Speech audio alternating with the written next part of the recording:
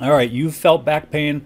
What's causing it, and how can you tell if your back pain is muscle or disc related? Well, there are several common causes of back pain, and the first step on your road to recovery is identifying what type of back issue you're dealing with.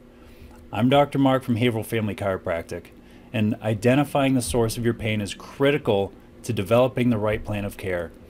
Research has found that while imaging can be helpful, it isn't required every time you experience back pain.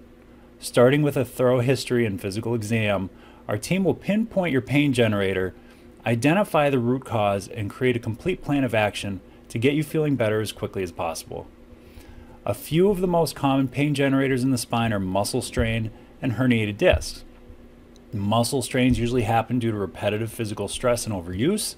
If you have a herniated disc, it means the inside, which I showed you last week here, this inside, the nucleus of that disc, has pushed through the outside, which is that annulus fibrosus of its wall, pushed through the outside of the wall. The pain you feel from a herniated disc generally comes from the disc irritating or compressing a nearby spinal nerve.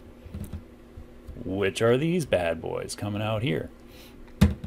Dealing with back pain can certainly be scary, but don't stress. Most back pain can be taken care of without drugs or surgery. If you're unsure of the diagnosis or cause of your pain, reach out to our practice today. We'll be happy to help guide you on the best course of treatment to help you feel better quickly. I'll see you next week. Enjoy your week.